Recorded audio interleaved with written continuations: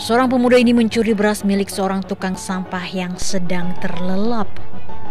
Dari video kamera pengawas Sukatman kakek yang berprofesi sebagai tukang sampah nampak tertidur pulas di depan toko usai beraktivitas memungut dan membuang sampah milik warga Jalan Wijaya Kusuma, Jember, Jawa Timur.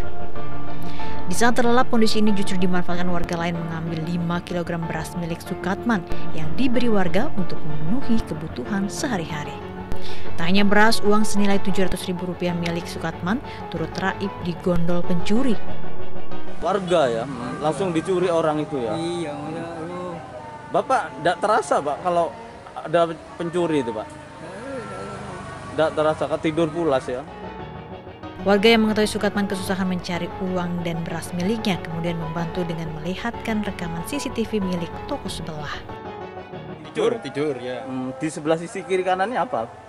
Ada beras ada eh, ada beras lah ada beras ada apa uang, Uang, itu katanya.